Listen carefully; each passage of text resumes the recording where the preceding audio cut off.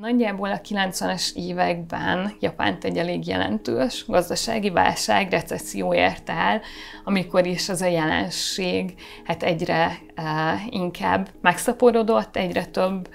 hát úgymond ilyen visszavonult fiatallal kezdtek találkozni, és ugye ennek a jelenségnek már nevet is adtak, és ezt leginkább azzal hozták összefüggésbe, hogy ott ugye a szülők, mint felmenő generációk igyekeztek a gyerekeiknek már egy jobb világot megteremteni. Azért is óriási probléma Japánban, hiszen nagyon alacsony a termékenységi ráta. Ugye rengeteg családban egykéznek, na most, hogyha ebből az egy darab gyerekből egy hikikomorivá válik, tehát ez, ez egyfajta zsákutca, és a családnak is, a, annak a vonalának legalábbis a lezáródása, hiszen az ilyen ember ugye kapcsolatokat nem fog tudni teremteni, nincs önbizalma, kortárs csoportokkal ugye alig-alig érintkezik, és egyszerűen nem képes a felnőtt életének a motorját berúgni. Hoztam néhány idézetet, és így arra kérnélek, hogy uh, tippeld meg, hogy szerinted ez így uh, kimondhatta, mikor születhetett, vagy akár mennyire időtálló. Ez érdekes lesz. Például fiatalságunk rosszul nevelt, figyhettánya tekintére, és semmiféle tiszteletet nem tanúsít az idősek iránt.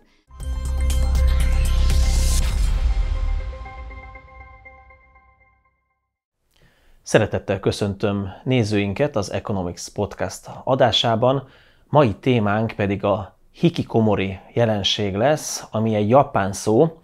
és annyit tesz, hogy visszavonultan élni, a társadalomból kivonulni, egyfajta szobalakó létezésre berendezkedni, és erről fogok mai vendégemmel, Petrusán Molnár Dalmával beszélgetni, aki tanácsadó szakpszichológus. Az első kérdésem pedig az lenne hozzád, hogy mi terem ez a hikikomori, illetve miért Japánban lett ez ilyen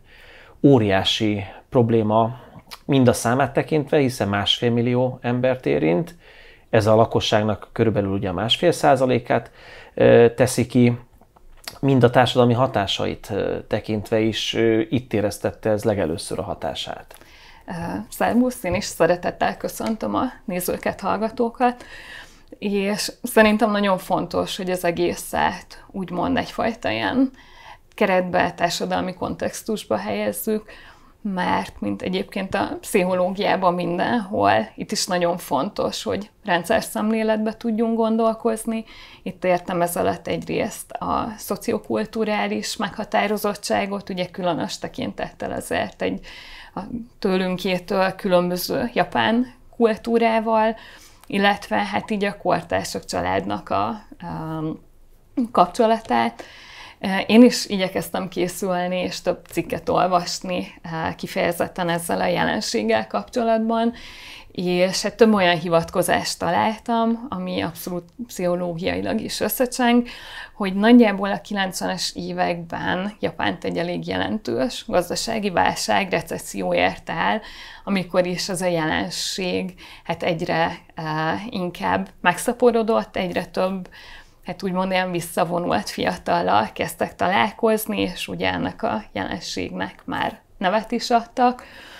és ezt leginkább azzal hozták összefüggésbe, hogy ott ugye a szülők, mint felmenő generációk igyekeztek a gyerekeiknek már egy jobb világot megteremteni, akár tanulmányokba, tárgyi javakba megsegíteni az ő boldogulásukat, Viszont ezek a fiatalok szembesültek azzal a nagyon nehéz valósággal, hogy akár egy egyetemi felvételi vagy a munkába való elhelyezkedésük nem sikerült, és itt jön be megint a japán kontextus, e, szociokulturális helyzet, hogy ez viszont egy nagyon nagy szégyent jelentett a fiatalnak, de akár a családnak is, hogy, hogy mindaz a jövőkép, amiben ő beleinvestált, fáradtságot, munkát nem kímélve, az, az gyakorlatilag összeomlott így az orruk előtt, és, és inkább nem vállalva ezt a társadalmi szégyent, úgy döntöttek a fiatalok, hogy ők egy ilyen visszavonult életet élnek, elvonulnak a társadalomtól, és igyekeztek ezt minél inkább úgy tenni, hogy, hogy ne látszódjon csendben visszavonulni halkan visszavonulni, kvázi így megszűnni a társadalom szemállól is. És ugye ez azért is óriási probléma Japánban, hiszen nagyon alacsony a termékenységi ráta. Ugye rengeteg családban egykéznek, na most, hogyha ebből az egy darab gyerekből egy hikikomorivá válik, tehát ez, ez egyfajta zsákutca, és a családnak és a, annak a vonalának legalábbis a lezáródása, hiszen az ilyen ember ugye kapcsolatokat nem fog tudni teremteni, nincs önbizalma, kortárs csoportokkal ugye alig-alig érintkezik, és egyszerűen nem képes a felnőtt életének a motorját berúgni. És így innentől kezdve olyan fajta halmozódása van a, a problémáknak, és nyilván ez a népesség szaporulatra sincs áldásos hatással, hogy a ismert japán megfelelési kényszer, ugye, ami, ami sokkal erőteljesebb náluk, mint mondjuk az európai kultúrákban, erre még ez pluszba rájön, hogy nincsen B megoldás, vagy de hát a kisugod vagy a bátyád az legalább úgymond normális ember, mert ha egy darab gyerek van, és ilyen szintű problémákkal küzd, az tényleg az egész családnak egy tragédia. Teljes mértékben egyetértek ezzel, de kicsit tágabb értelemben ez igazából ez egész társadalomnak is egy probléma, hiszen aggódnak attól, hogyha egyre több hikikomori fiatal mm, él az ő népességükbe, tehát nem csak a családok nem tudnak előre haladni, de nyilván ott is azért az előregedés megfigyelhető, a nyugdíjas korosztály létszámának az emelkedése, és ugye tehát munkaerőpiaci szempontból is az egy nagyon nagy veszély, hogy legyen annyi, hát úgymond munkára fogható fiatal, aki egy, egy produktív, termékeny jövőt tud biztosítani egyrészt a saját generációja számára, illetve hát végül is egy biztos jövőt tud biztosítani a szülők, nagyszülők generációja számára is. Tehát éppen amiatt ott ezért kifejezetten fontosnak tartják, hogy ezzel, mint társadalmi jelenséggel foglalkozzanak, illetve hát itt szeretném azt is kiemelni, hogy erre azért minden szempontból mind társadalmi jelenségre tekintenek. Több pszichológiai, pszichiátriai vizsgálat indult, hogy a hikikomori az úgymond besorolható el, mint mentális betegség, mert ez a fajta visszavonultság, csak hogy mondjuk egy kicsit árnyaltabb képet kapjanak a nézők, hallgatók, hogy mind nagyon széles spektrumon mozoghat, tehát onnantól, hogy mondjuk a fiatal jellemzően mondjuk hát kamaszkortól, tehát 15-45-től, de akár 65 éves korig, tehát a aktív munkavállaló létig terjedhet ez az életkori ráta. Mm, visszavonul a szobájába, nem kommunikál a társadalommal, de ez odáig is tud fajulni, hogy mondjuk már annyira enervált lesz, annyira elveszti a jövőképét, hogy, hogy mondjuk mosdóba is csak éjszaka jár ki, vagy annyi önerő, én erő nincs benne, hogy a mosdóig elmenjen, és ugye pont ezek nagyon sok hasonlóságot mutat olyan patológiás állapotokkal, mint az agorafóbia, a depresszió, a szociális fóbia, generalizált szorongás, viszont mint ez a életforma mégis valami miatt a jelenség, társadalmi jelenség fenoménjaként van de nagyon fontos, hogyha valahol már így nagyon elcsúszik a mérték, nagyon nem tudja a család megsegíteni a fiatalt, akkor ezért ezen a ponton is már egy szakmai segítség az, ami fontossá válik, hiszen nyilván a család, a szülő a legjobbat szeretné a gyerekének, de hogy van az a pont, amikor sokszor akár olaj és a tűzre, legjobb szándékot, de nem igaz, hogy nem jössz ki a szobádból, hogy nekem kell a ebédet is oda készíteni, és hogy tényleg egy-egy szakmai segítség kell. Sokszor ott akár emiatt, hogy ennek a kiszűrésére is két évenkénti kötelező pszichiátriai felülvizsgálat, és benne van a rendszerben, illetve hát egyre több volt hikikomori kvázi egy ilyen tapasztalati segítőként már saját maga is visz csoportokat, ami végül is szerintem egy ilyen csoportfoglalkozásnak, csoportanalitikus foglalkozásnak is betudható plusz uh, szakmai segítőkkel, ahol lehetőség van megosztani a tapasztalásokat, megosztani a nehéz érzéseket, hogy senki nincs egyedül, akár azzal a szígyennel, nehéz érzéssel, hogy miért is gondolja, hogy ez a világtól való visszavonulás az egyetlen lehetőség számára. Igen, egy Adi kötet címe is eszembe jutott, a menekülő élet. Hát és ugye ez is egyfajta menekülés a, való élet elől, illetve ami még ugye fontos ezeknél a, az embereknél, hogy ez az örök kamasz létbe ragadság, ugye azzal is jár, hogy hát egy kamasz az attól is kamasz, hogy folyamatosan konfliktusban van például a szüleivel, de ugye ezt azért jó esetben kinövi az ember, viszont a hikikomoriknál ez a konstans kamaszlét nyilvánvalóan a konfliktusokat is folyamatossá teszi, vagy el nem múlóvá teszi, és ez rendkívüli módon nyilván megviseli a szülőket is, akik azért ugye sokszor kétségbe vannak esve, illetve a szégyenérzet is egy olyan fajta hátulütő lehet, ami miatt talán nem kellő időben fog, fordulnak majd pszichológushoz, vagy akár pszichiáterhez, akik tényleg ezzel érdemben tudnának foglalkozni. Um, én ehhez talán először így hoznék egy pici játékot, mondjuk úgy egy-két idézettel, mert hogy a mai fiatalok, ugye milyen sokszor halljuk, vagy szinte szálló gyerekkoromban is hallottuk. Hogy hát ezek a mai fiatalok, és hogy a konfliktusok, és hogy belőlük sosem lesz az a generáció, a, aki majd e, felelősséggel tud lenni saját maga, illetve a társai iránt, úgyhogy én hoztam néhány idézetet, és így arra kérnélek, hogy uh, tippeld meg, hogy szerinted ez így uh, kimondhatta, mikor születhetett, vagy akár mennyire időtálló. Ez érdekes lesz. Például fiatalságunk rosszul nevelt, figyhettánya tekintére, és semmiféle tiszteletet nem tanúsít az idősek iránt. Manapság fiaink nem állnak fel, amikor a helyiségbe belép egy idős ember, feleselnek a szüleikkel, és fecsegnek ahelyett, hogy dolgoznának. Egyszerűen kiállhatatlanok. Ez az egyik, és mondjuk hozok még egyet. Mm, a fiatalság velejéig romlott. A fiatalok elvetemültek, és semmire kellők. Sohasem lesznek olyanok, mint a régi idők fiatalsága. A mai fiatalok nem lesznek képesek megőrizni kultúránkat sem. Bezzeg a mi időnkben. Bezzeg a mi időnkben. Ez jutott eszembe. Én ezt simán egy 50-60 éves mondatoknak is úgy gondolom, hogy elmennének, mert már az én generációm is megkapta ezt, de hát már a beat nemzedék, akik mondjuk a szüleim korosztálya, na most őket meg a nagyszüleim korosztálya nem értette meg, hát hogy eleve mi ez a loboncos haj, mi ez a csörömpölő zene, mi ez a szexuális szabadosság, tehát úgy gondolom, hogy ezek generációk közötti meg nem értettség, ez nem új keletű.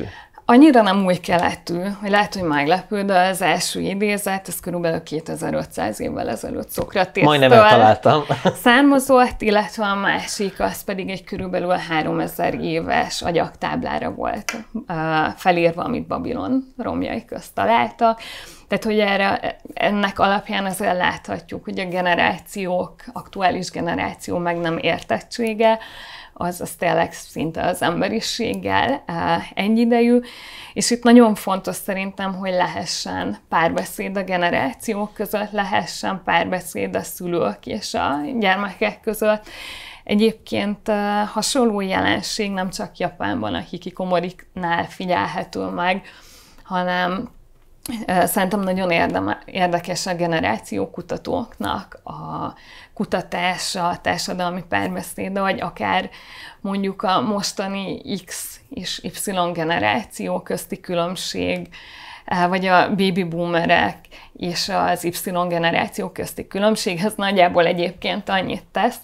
hogy a baby boomerek körülbelül a 40-es, 60-as évek között születettek, az X generáció tagjai, tehát körülbelül így a 60-as, 80-as évek közt, és az Y generáció tagja, ahova például én is tartozok, ott pedig így a 80-83-tól a 95 között született személyekre vonatkozik, és hogy amit például Japánban ez a otthonlevés, várom, hogy a szüleim eltartsanak, felelősséget vállaljanak az én tetteimért, vagy akár a helyet, így kicsit a Pán Péter szindrómával írható le, ami talán többször előfordul a mi társadalmunkban, vagy a nyugati Igen. társadalomban megnevezésként, és ez körülbelül szintén annyit tesz, hogy az Y generációban születettek, még mindig a baby boomer vagy késői X generációs szülőknél élnek, tehát nagyjából 20-30-as éveikben otthon vannak,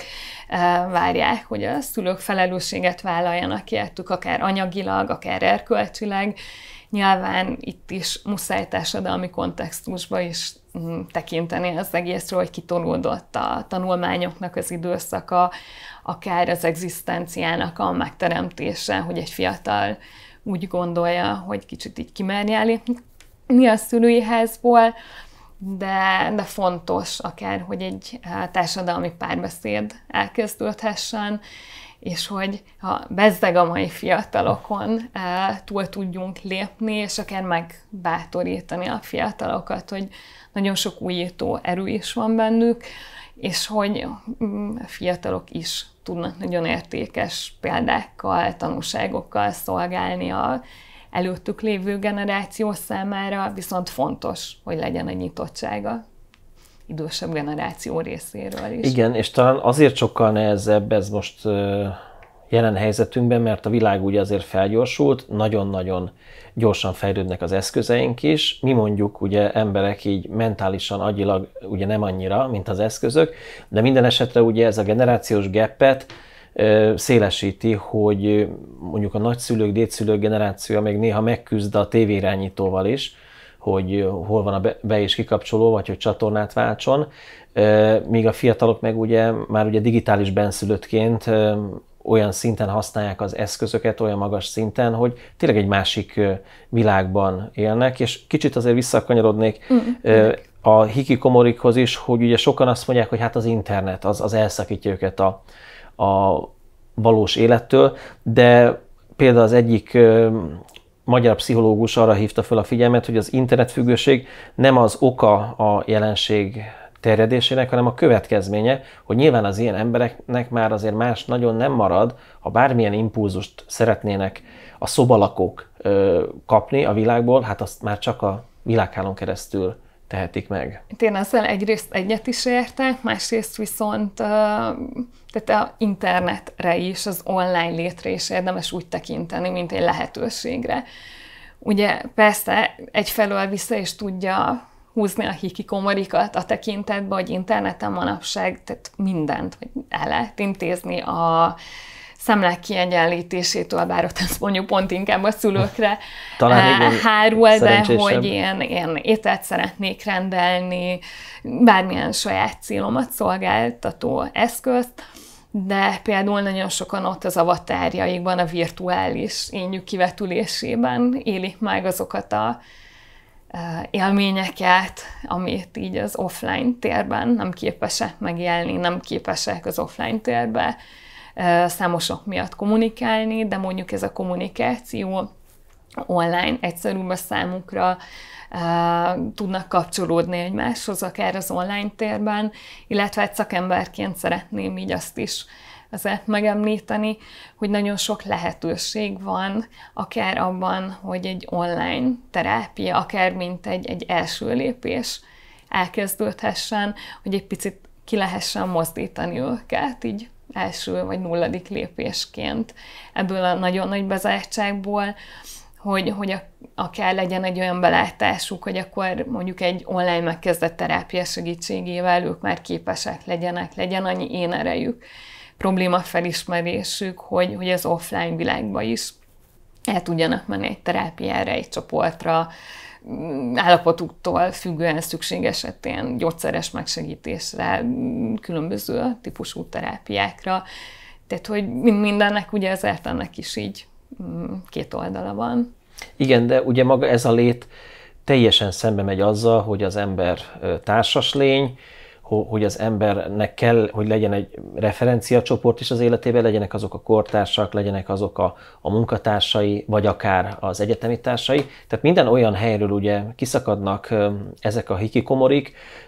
ahol ugye megmérethetnék magukat nagyon sok szempontból, és innentől kezdve ugye nincs egy reális énképük, mert nem is lehet, hát ahhoz kellenek tükrök, ugye ilyen-olyan emberek által, vagy társadalmi helyzetek által fenntartott tükrök, amiben látjuk magunkat, hogy, hogy hogyan reagálunk. És a másik része pedig még az ennek, ami borzadályos lehet, hogy ugye ez a, a szoba, lakó ugye nem is mozog igazából szinte semmit, tehát otthon maximum elcsoszogunk a fürdőszobáig, vagy a, vagy a konyháig, tehát ugye van egy ilyen nagyon kronikusan mozgás szegény életvitel, van egy fordított élet, ugye hiszen ezek a, az emberek a legtöbbször ugye éjszaka élnek, idézőjelben. Észrevétlenül leginkább. igen, észrevétlenül, és ugye nappal pedig próbálnak aludni úgy, ahogy, de tudjuk, hogy a nappali pihenésnek azért a, az értéke az, az nem ér föl az éjszakai alváséval, tehát, hogy teljesen fordítva van minden az életükben, de mégis ugye emberként kéne valahogy létezniük, és ez is számtalan konfliktusnak a, a forrása. Nekem is van ilyen ismerősöm, aki már 20 valány éve ez, ez a fordítottság van meg benne, amellett, hogy informatikus, meg, meg elvégző a maga dolgát, de teljesen fordítva van, és ő regge, este 8-kor szokta inni az első kávéját. Igen, ez nagyon fontos, hogy ugye elhangzott az elején is, hogy ezért több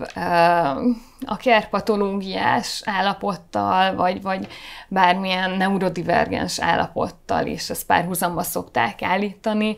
így, így akár az autizmus, vagy autizmus spektrum zavarral is, tehát az, kifejezetten az informatikusoknál ott azért több neurodivergens személy dolgozik, és a maga módján éli úgymond sikeresen az életét, tehát száz százalékig talán nem feltétlen szerencsés így ezzel összemérni, de párhuzamba, mindenki párhuzamba lehet állítani.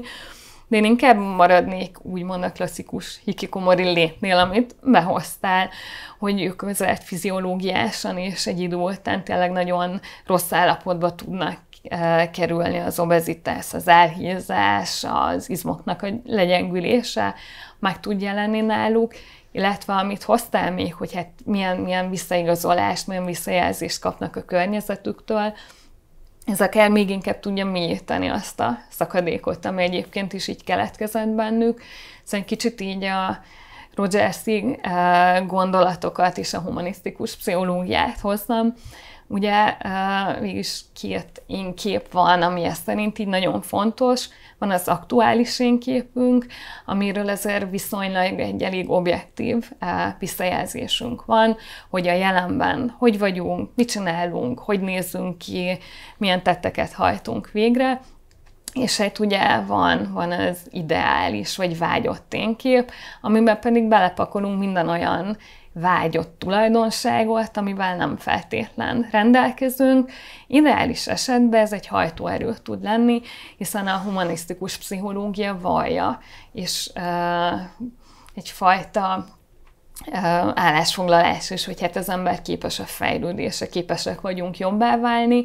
és ez egy motiváció lehet, hogy az aktuális énképünktől minél közelebb kerüljünk a vágyott énképig. Itt azonban nagyon-nagyon fontos, hogy a vágyott ideális énképünkbe olyan tulajdonságok kerüljenek, amiket ezért el tudunk érni, vagy legalább megközelíteni, viszont hogyha ezt a vágyott dolgot olyan tulajdonságokkal pakoljuk tele, amik szinte elérhetetlenek a számunkra, ugye ez nem, hogy nem segít, hanem sokkal inkább ebbe a gödörbe benne hagy minket, már van egy-két sikertelen próbálkozásunk, és csak a kudarcot éljük már, hogy sose fogjuk elérni, vagy e, bizonyos tulajdonságokkal lehet, hogy nem fogunk rendelkezni, és hogy fontos, hogy tényleg egy olyan célt tudjunk megfogalmazni, amiért viszont reálisan tudunk dolgozni, és onnantól kezdve, hogy az úton is már meg lesznek az első sikerek, kapunk akár saját magunk által is egy olyan visszaigazolást, hogy jól csináljuk, és érdemes e, folytatni azt, amibe belekezdtünk. Utolsó kérdésem pedig az volna, hogy nem egy elszigetelt szigetországi jelenségről beszélünk ugye Japán esetében, hiszen már 2019-ben a római Caritas egy programot hozott létre az olaszországi hikikomori jelenségnek a tompítására, hiszen itt is több százezer érintett van, ugye azért Olaszországban is nagyon szép számú lakosság él, és bizony ez nem egy japán kulturális vagy szubkulturális jelenség, hanem társadalmi szintű rossz közérzetként lehet definiálni, amely a gazdaságilag fejlett országokban bizony felfelüti a fejét, legyen szó Európa bármelyik országáról, de nyilván az Egyesült Államokat is említhetném. Uh, tehát én úgy gondolom, hogy érdemes picit így talán elválasztani, hogy hikikomori, és akár mondjuk bizonyos társadalmakba, akár a Japánból bevándorolt fiatalok szubkultúrájában van-e jelen, vagy akár saját praxisomból is nem, hogyha nem is hikikomoriként tekintünk rá, de, de nagyon, nagyon sok fiatal van. Azt mondom, hogy talán jellemzően ja, serdülő, vagy, vagy akár egy ilyen kitolt tinédzser korosztálynál az a jelenség, hogy ezerkoznak a külvilágtól, sokkal inkább a saját uh, online terükbe találják magukat komfortosan, otthonosan,